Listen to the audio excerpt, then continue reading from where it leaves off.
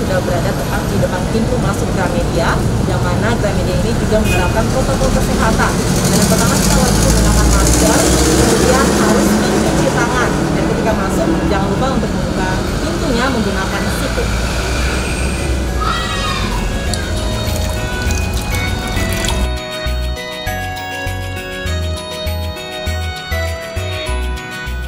Semenjak pemerintah Kota Sorong mulai menerapkan tatanan kehidupan baru dengan penerapan protokol kesehatan pada sejumlah tempat keramaian seperti toko, supermarket, pasar, dan taman bermain.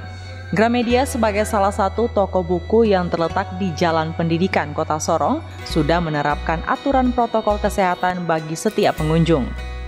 Setiap pengunjung yang datang wajib menerapkan protokol kesehatan seperti menggunakan masker, mencuci tangan, dan jaga jarak.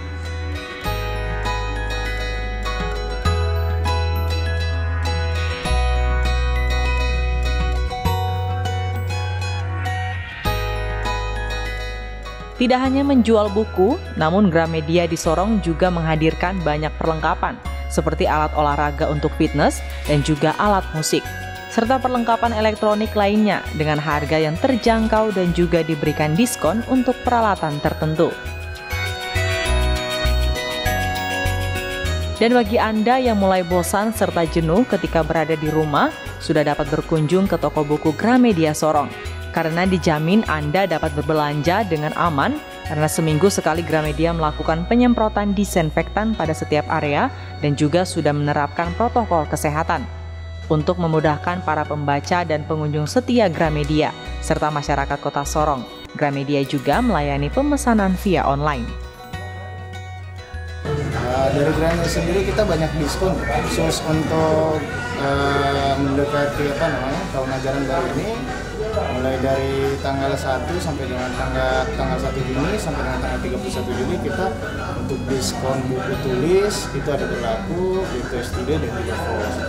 Nah untuk pengguna apa namanya uh, My Value member kita kita lagi ada berlaku promo 30% untuk semua buku terbitan Nah untuk sistem penjualan selama masa pandemi ini kita ada namanya layanan pesan berantar.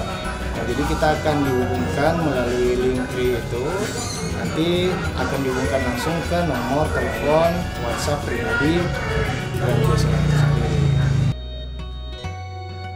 Semua pengunjung yang datang juga merasa aman dengan aturan yang diterapkan pihak Gramedia.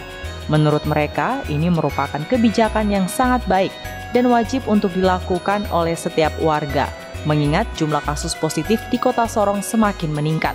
Kasih Mbak. Ya sahabat Kompas TV, sesampainya di kasir, kita tetap harus menerapkan protokol kesehatan yakni social distancing atau jaga jarak. Flora Batlayeri, Kompas TV Sorong, Papua Barat.